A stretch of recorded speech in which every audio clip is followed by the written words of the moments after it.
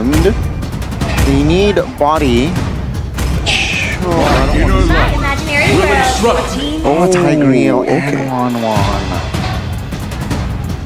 So they have the setup for the Tigreal this time with the Franco and the Kaja being banned out. But Wanwan against the Moskov in the gold lane. You said that the Moskov has a little bit of an edge because of his dashes. You just escape. I don't think it's a winning lane. It's not a winning matchup. It's a non-lane because Moskov can escape. Okay. But in terms of poke, Wanwan is oh, is pretty good there. It's a skill matchup. I think the easiest way to put it is it's a skill matchup. So now, do Bigetron want to commit with Angela in the mid lane still, or do they want to flex it? I mean, in the roam still, yeah. It's still flexible. It can be a roamer or it could be a mid laner. Yep. They need a tankier front line here. I don't think Arlott and Alice with Angela alone is enough. Different. Okay, so they go Grock. That's another frontliner. That's another lockdown CC type of hero that can initiate too. And it's pretty good against the Tigreal, right? You can go and re uh, re-engage, stop with stop the implosion as well with the wild charge. No. It's also able to facilitate the Angela in the mid lane Yep. because of his clear. So it kind of levels things out, hopefully, so they can have a little bit more control and anchor in the early game. Looking at the draft, I honestly think it's more 50-50 this time around, but I was I was also confused by game one's draft. So we'll just have to see. This is some new tech that we're seeing now. We saw the same tech from game one, game two, but game three, it's a completely different draft in a way, because it's a Grock instead of a Gatot Kacha, and it is no longer the Beatrix, it's Moskov. They finally have Purify. Remember, faith and trust. All right.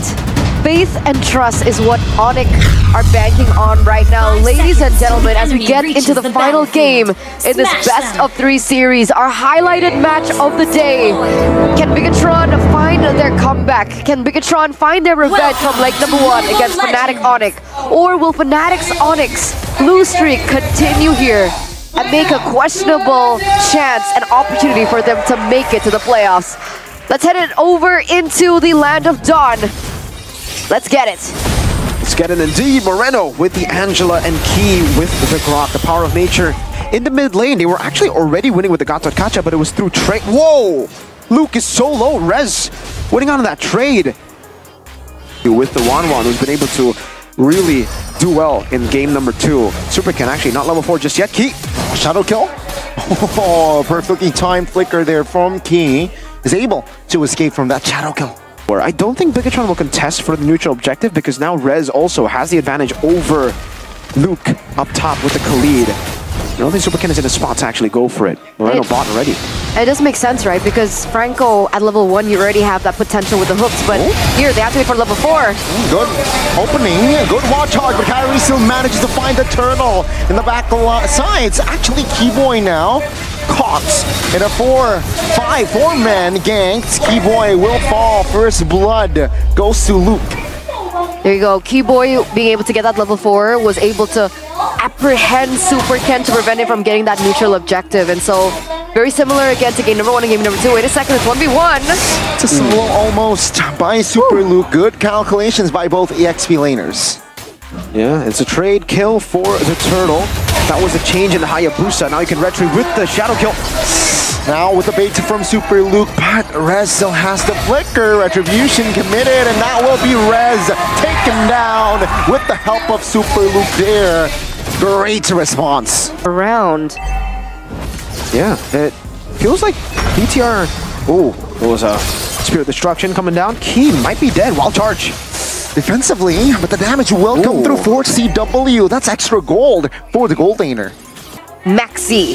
MPLID X streamer. It's always good to see the faces, the new faces, maybe for some of you to get to know a little bit more about the talents coming from a lot of these teams. Rez? Don't think they know that. Oh, wait a second. 2v1. Slightly, slightly overcommitted there. Mm-hmm.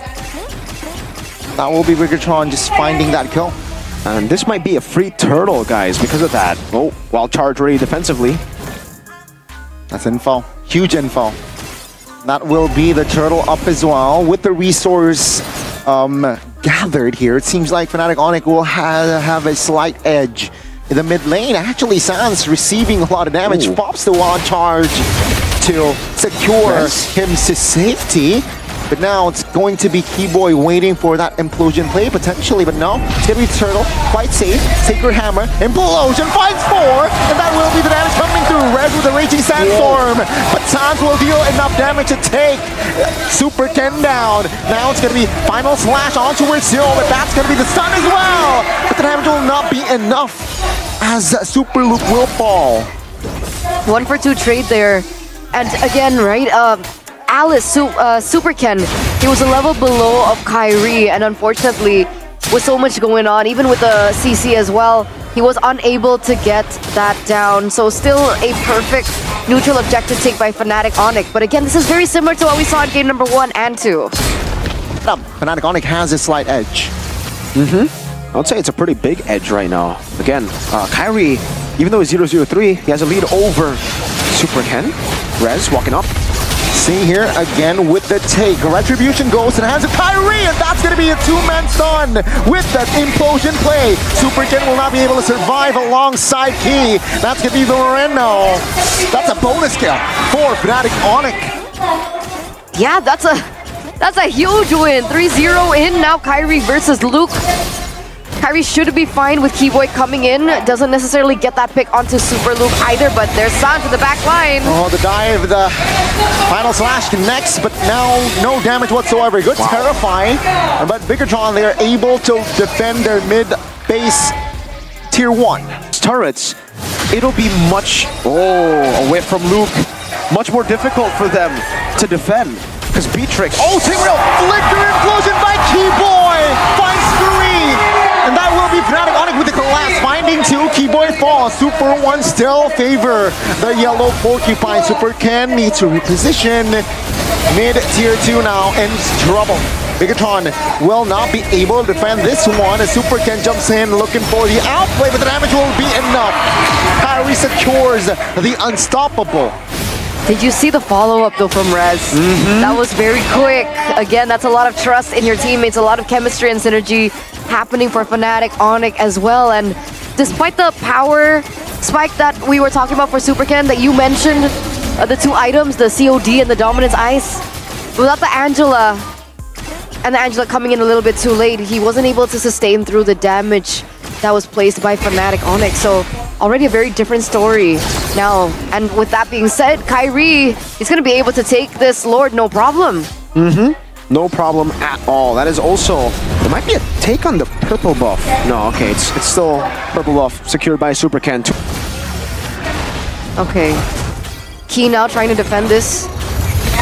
Oh, Kairi! He steals it away. Just like that, man. Kairi with the steals, and now, oh, Sky Piercer! He didn't go for Sky Piercer game one or game two. This time he decides to go for the Sky Piercer. 3-0 and 6. If he gets some of these executes, man, I'm interested to see a shadow kill. Oh, that's gonna be the Raging Sandstorm under the turret though. Rez taking heat. That's gonna be the Flicker Implosion play. Finding one. Super Luke in trouble. Gets taken down. And now, Tear Destruction committed. Bigetron looking to close the gap. Bigetron, will they be able to find Sante? Well, Kiboy is trying to provide cover, but it seems like with the Sacred Hammer, he is able to knock Super Ken up. But now with the crossbow of Tang, is actually not be able to find the kill. Moreno though, stuck and of course he will be the sacrificial lamb. Three members from Zada Bigetron down. Man, luckily Alice was able to get out of that. Otherwise, that would have been a bigger trade for Fnatic Onyx. But regardless, Bigetron are still in the game. It looked like they saw that loophole, right? They saw that Fnatic Onyx, they utilized all their resources earlier on. Uh, Kiboy used his implosion. We saw the Raging Sandstorm as well from Rez. The only uh, big ultimate that we saw that wasn't popped in was CW with the crossbow of Tang. So The, uh, the holy trinity of the attack speed build. It's also very different for Moreno. Last game, fleeting time, Flask of the Oasis, he went straight to a Sky Piercer because of the snowball. This game he has to play it way more defensively, and I think BTR will have to give this away. They're going to have to tunnel in their own base and wait out. I see no angles, oh, except for that SOD. Almost connects for that Lord though, but now it's going to be again Bigetron tested with the Lord immediately spawning in the mid lane. Ah, look at that. They're actually holding the mid wave so that the Lord will just come into the mid lane. Fnatic won't be able to coordinate the waves as well as they wanted to, and BTR will be able to get at least a good start on this Lord defense. see here, Fnatic will this be the final push as the bottom side will be theirs. Bigetron though will defend their top lane turret. Now to the walk charge from Sanz. Good terrify. Super Loop taken down. Crossbow attack with a winner crown. Popped by Superkin. But the stun, the damage is coming through. Superkin falls one by one. They will fall. And this will mark FNOC ending their lose streak with a savage. Always a great time to go out with a bang, that lose streak is the savage, the cherry on top. Earlier on, we saw the interview from Niall, I believe, didn't even place Kairi in top three best junglers in ID, and Kairi casually savages his way out of that lose streak. What a comeback by Fnatic Onyx. Deja vu to leg number one. Hayabusa with a savage, as Kiboy put it, at M5. Oh my god, Kairi Hayabusa!